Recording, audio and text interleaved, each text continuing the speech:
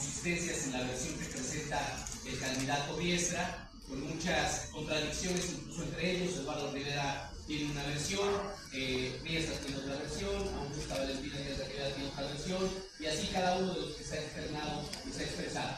Eh, lo cierto es que ante esta circunstancia me envía la tarea de buscar eh, evidencia de lo que había ocurrido en el evento y toda la, evidencia que está subida por ellos mismos a redes sociales, pues es un ambiente testigo, ¿no? Eh,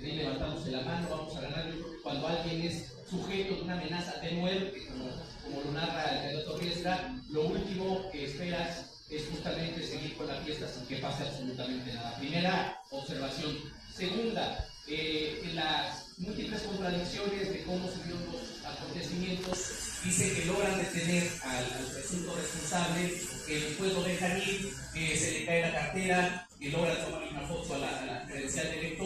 Eh, lo cierto es que eh, en un evento, digo, para quienes asistimos de manera regular a este tipo de eventos, lo decía yo ayer también, difícilmente un candidato a la presidencia municipal porque además es un evento en el que está arrojado por su gente, ¿no? por, su, por su, los que ya están convencidos, que quieren escuchar su mensaje, y entonces desde que baja de su vehículo hasta que llega al presidente y viceversa, el candidato nunca está solo, a menos que Arriestra no lo quieran saludar, no lo quieran acercarse a él, pero difícilmente se queda solo. Eh, a nosotros nos pasa cuando acompañamos a los eventos de nuestros candidatos, incluso pasa el evento y los saludamos de lejos, nos cuesta trabajo llegar. Entonces, eh, prácticamente eh, improbable que de manera natural alguien que llevaba una encomienda de ser esta de amenazarlo de muerte, decirle que su cabeza tenía un precio de 15 mil pesos, algo así, dijeron, pudiera acercarse sin ninguna restricción y pudiera haber seguido también sin ninguna consecuencia.